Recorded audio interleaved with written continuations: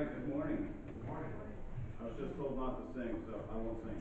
Um, Good for you. We're gonna continue our studies in Genesis. Um, today's gonna be Genesis chapter eighteen, so let's turn to Genesis eighteen. And I will read the, It's uh, okay, I just- whole chapter, It's locked up. Genesis chapter eighteen. It's amazing how, uh, Appreciate you. our kids learn things that we do. When I was first married, there was a spider in my bedroom, and I took Bethany's hairspray and sprayed it, thought I killed it, but it fell behind the bed. So I don't think I could sleep all night, it kind of freaked me out, so. This morning, I thought somebody passed out in the house, I heard all this commotion, sounded like somebody fell, everybody's, uh, screaming and hollering. And come to find out, uh, Hannah and Addie were trying to kill a spider. But it disappeared, so they couldn't find it, so we may have to do that again tonight when, uh, when we get home. Have to find that spider. So, uh, Genesis chapter eighteen, we're gonna learn about the divine appearance. Divine appearance. Let's go to the Lord in prayer first. Dear God, our Father in heaven, we just thank you for this day. Thank you for everyone that's here. Pray for all the classes going on right now. Just let it be your word that's taught, Lord. And just, uh, speak through me, speak through the teachers, just speak, speak to each heart that's here, Lord. And just help us be obedient to you and draw close to you. And we pray for the unsaved to be saved and work on more hearts to come to the next services. And we pray for anybody that's unsaved here that they come to know you as Savior. Again, just use me, let me hear words. In Jesus Christ's name I ask for thanksgiving. Amen. Genesis eighteen. And the Lord appeared unto him in the plains of Mamre, and he sat in the tent door in the heat of the day. And he lifted up his eyes and looked, and lo, three men stood by him. And when he saw them, he ran to meet them from the tent door, and bowed himself toward the ground, and said, My Lord, if now I have found favor in thy sight, pass not away, I pray thee, from thy servant. Let a little water, I pray you, be fetched, and wash your feet, and rest yourselves under the tree, and I will fetch a morsel of bread, and comfort ye your hearts, after that ye shall pass on. For therefore are ye come to your servant. And they said, So do as thou hast said. And Abraham hastened into the tent unto Sarah, and said, Make ready quickly three measures of fine meal, knead it, and make cakes upon the hearth. And Abraham ran unto the herd, and fetched a calf tender and good, and gave it unto a young man, and he hasted to dress it. And he took butter and milk in the calf which he had dressed, and set it before them. And he stood by them under the tree, and they did eat. And they said unto him, Where is Sarah thy wife? And he said, Behold, in the tent. And he said, I will certainly return unto thee according to the time of life. And lo, Sarah thy wife shall have a son. And Sarah heard it in the tent door, which was behind him. And Abraham and Sarah were old and well stricken in age, and it ceased to be with Sarah after the manner of women. Therefore Sarah laughed within herself, saying, After I am waxed old shall I have pleasure, my Lord being old also. And the Lord said unto Abraham, Wherefore did Sarah laugh, saying, Shall I of a surety bear a child, which am old? Is anything too hard for the Lord? At the time appointed, I will return unto thee according to the time of life, and Sarah shall have a son. Then Sarah denied, saying, I laugh not, for she was afraid. And he said, Nay, but thou didst laugh. And the men rose up from thence, and looked toward Sodom, and Abraham went with them to bring them on the way. And the Lord said, Shall I hide from Abraham the thing which I do? Seeing that Abraham shall surely become a great and mighty nation, and all nations of the earth shall be blessed in him. For I know him that he will command his children and his household after him, and they shall keep the way of the Lord to do justice and judgment, that the Lord may bring upon Abraham that which he hath spoken of him. And the Lord said, Because the cry of Sodom and Gomorrah is great, and because their sin is very grievous, I will go down now and see whether they have done altogether according to the cry of it, which is come unto me, and if not, I will know. And the men turned their faces from thence and went toward Sodom, but Abraham stood yet before the Lord. And Abraham drew near and said, Wilt thou also destroy the righteous with the wicked? Peradventure there be fifty righteous within the city. Wilt thou also destroy and not spare the place for the fifty righteous that are therein? That be far from thee to do after this manner, to slay the righteous with the wicked.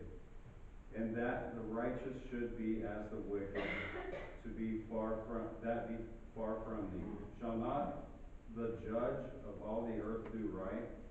And the Lord said, If I find in Sodom fifty righteous within the city, I will spare all the place for their sakes.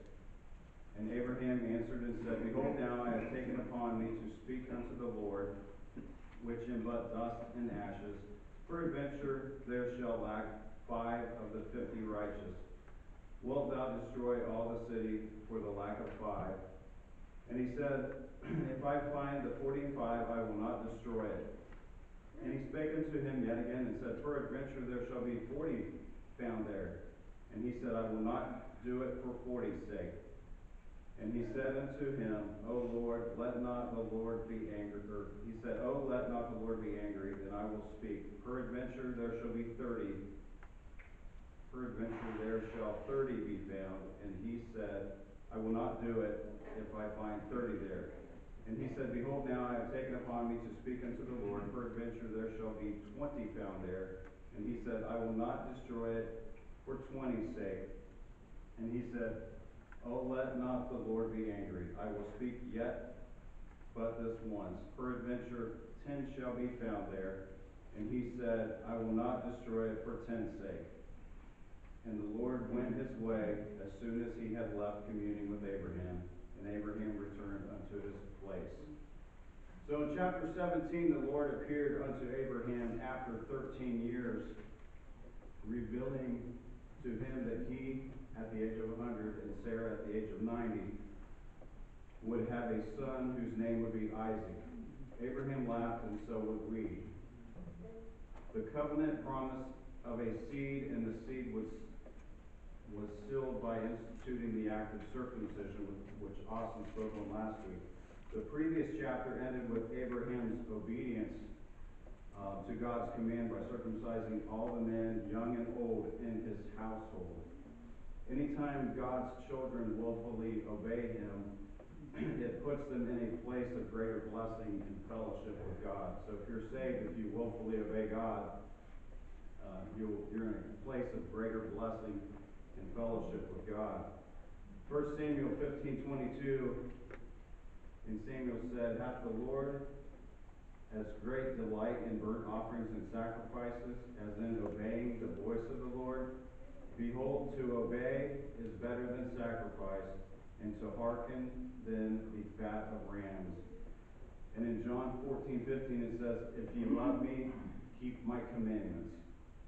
So let's look at the divine appearance. The Lord is welcomed into Abraham's tent um, in, the, in the place of Mamre. And the Mamre means fatness or fruitfulness. Uh, Abraham was obedient to God's command in chapter 17, and now the Lord visits him. So the, what a contrast, contrast with uh, chapter 16.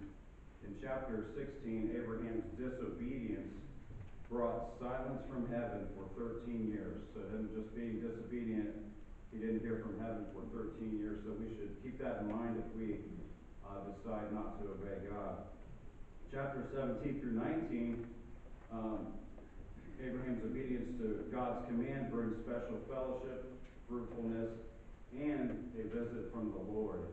So the Lord visited him. So if Christ came to your house today, would uh, he be recognized? Would you know it was him? Um, would he be welcomed, or would you be ashamed? Abraham knew exactly who he was when he saw him. Um, notice the Lord appeared, and it is the Lord and two other men. Um, one of the three men was the Lord. Um, Abraham bowed down and worshiped. We see that in verse 2. Uh, we know that one of the three men was the pre incarnate Christ uh, because he promised to do what only God could do. In verses ten and eleven, he, he said, I will certainly return unto thee according to the time of life, and lo, Sarah thy wife shall have a son. And he, he is addressed as the judge of the earth in verse twenty-five we just read. Um, he is called the judge. Shall not the judge of all the earth do right? So we see that that's the pre-incarnate Christ. Um, the other two men were angels, verses twenty-two, uh, let's, see, uh, chapter nineteen, verse one. It says there came two angels to Sodom, that's the two angels that were down there with, uh, Abraham. Uh, Abraham's faith, Abraham's faith recognized the Lord, even though he was manifest as a man. And we see this in the New Testament, John recognized the Lord. Uh, John chapter one verse twenty-nine, the next day John seeth Jesus coming unto him and saith, Behold the Lamb of God which taketh away the sin of the world. And in Luke two verses twenty-eight through thirty, uh, when, uh, Jesus was born when he was a baby and brought to the, uh, temple, Simeon was there. It said, Then he took him up in his arms and blessed God and said, Lord, now let us thy servant depart in peace according to thy word, for mine eyes have seen thy salvation. So Simeon recognized that the Lord when he was there, and so did John. Faith always recognizes God in everything. Faith recognizes God in sorrow. In Second Corinthians, uh, chapter seven, verse ten, for godly sorrow worketh repentance to salvation, not to be repented of, but the sorrow of the world worketh death. Faith recognizes God in suffering. Romans 8, verses 16 through 18. The Spirit itself beareth witness with our spirit that we are the children of God, and if children, then heirs, heirs of God, and joint heirs with Christ. If so be that we suffer with him, that we may be also glorified together.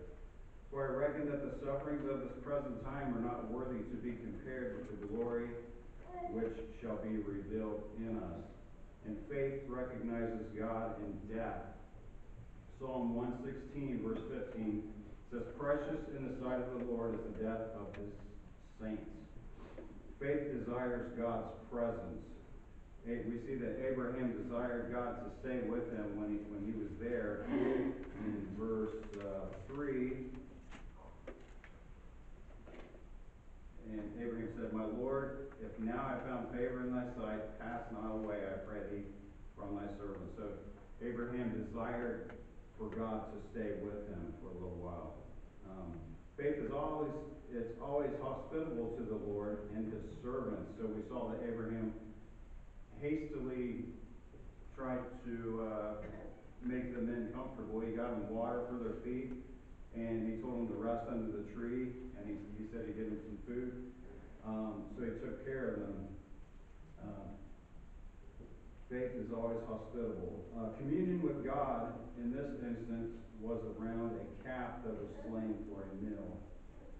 Um, so we see in, verses nine through fifteen, God renews his promise with Abraham. In these verses, we have the unlimited power of God on one hand, and we have the weakness of man on the other hand, Sarah's faith, because Sarah, um, well, let's just read verses nine and ten.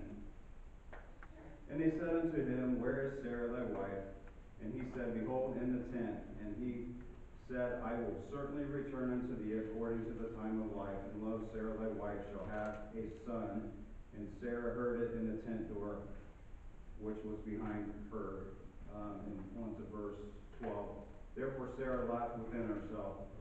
So she laughed and doubted. Um, the promised seed would come only through resurrection power. God would give life out of the dead womb, and he also gave life out of a dead tomb when Christ rose from the dead. So Sarah laughs with unbelief. She didn't believe it because she couldn't see what God could do. She just saw what was around her because probably she never saw a woman past a certain age have a child. So Um, there was a woman a long time ago who was fifty-one years old that was expecting a baby. When my wife and I were expecting our first baby, we went to a Lamaze class, and there was a really, really old woman there that was fifty-one years old that was pregnant. And that was like the oldest woman that I saw. Now I'm real close to her age, so. um, So anyway, that was the oldest woman I ever saw that was expecting a baby, and I'm sure there was older. But in Sarah's case, she didn't see it. She'd never seen this before. Um, so, verse fourteen, is anything too hard for the Lord? So, what seems impossible in your life? Is it even too impossible for God? So Sarah, she's thinking, what God has promised is impossible. Her unbelief is exposed and rebuked, because they, they called her out on it. Um, every child of God should hold to verse fourteen, is anything too hard for the Lord? Um, Ephesians three, verse twenty and twenty-one says, Now unto him that is able to do exceeding abundantly above all that we ask or think, according to the power that worketh in us, unto him be glory in the church by Christ Jesus throughout all ages, world without end. Amen. Um, notice what God says about Sarah's faith in Hebrews chapter 11, verse 11. It says, Through faith also Sarah herself received strength to conceive seed and was delivered of a child when she was past age, because she judged him faithful who had promised. So how do you judge God? Do you judge God faithful? Um, thank God that His grace covers our weaknesses and our failure to, or our failure of unbelief. God, God's grace covers our weaknesses and our unbelief. Uh, Second Corinthians twelve nine. Um, and he said, that's Jesus said unto me, and he said unto me, My grace is sufficient for thee, for my strength is made perfect in weakness. Most gladly, therefore, will I rather glory in my infirmities, that the power of Christ may rest upon me. So use what faith you have, believe God with what little faith you have, and, and just as he did with Sarah, he will give you strength for whatever that may be. Um, the divine announcement against Sodom and Gomorrah. In spite of the horrible judgment about to be pronounced upon these two wicked cities, a wonderful truth is revealed. Um, as a, an obedient Christian can have such a close and wonderful relationship with God that God will reveal secrets to him. Jeremiah 33 3 says, Call unto me, and I will answer thee, and show thee great and mighty things which thou knowest not. This is also the privilege of the believer in sweet, obedient fellowship with the Lord. Psalm 25 14 says, The secret of the Lord is with them that fear him, and he will show them his covenant. Psalm 103 7 says, He made known his ways unto Moses, his acts unto the children of Israel.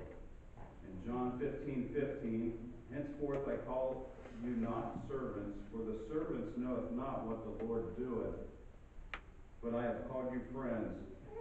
For all things that I have heard of my Father I have made known unto you. The friend of God knows God's ways, while others only see his acts. God reveals his plan uh, for Gomorrah. It is judgment.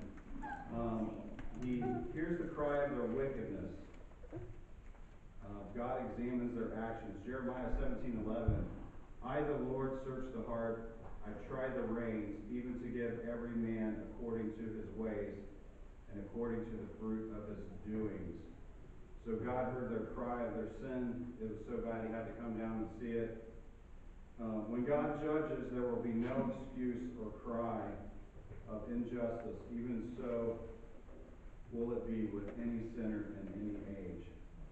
So we, in verses 23 through 33, we see the importance of inter- intercessory prayer. Uh, this is the first intercessory prayer in the Bible. And is a picture of Christ interceding for we who are in, for we who are in the sinful and condemned world. Um, the judges, the judge of all, let me try that again. The judge of all the earth will do right. He will not slay the righteous with the wicked in the final days of, of judgment on earth. Uh, the righteous will be raptured before the wrath of God falls on this wicked earth.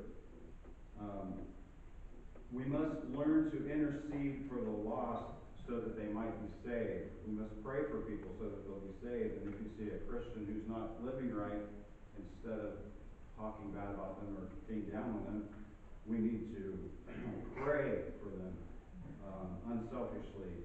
We need to intercede for them. So let's look at um, some of the characteristics of true intercession um, as follows. In verse 23, verse 23, there it is. And Abraham drew near and said, Wilt thou also destroy the righteous with the wicked? So it's unselfish. He was unselfish there. Um, verse 24, Peradventure there be fifty righteous within the city, wilt thou also destroy and not spare the place for the fifty righteous that are therein? Um, he is compassionate. Unselfish and compassionate. Um, 25, verse 25, that be far from thee to do after this manner. It's a- faith. He faith that God would not do this if there were a certain amount of uh, righteous there. Um, verse 27. And Abraham answered and said, Behold, now I have taken upon me to speak unto the Lord, which am but dust and ashes. Is with humility. Verse 30. And he said unto, the, unto him, Oh, let not the Lord be angry, and I will speak. Peradventure there shall be thirty be found there. And he said, and God said, I will not do it for thirty. Um, it is earnest. Thirty-two. Um, and he said, Oh, let not the Lord be angry. I will speak yet but this once. It is earnest.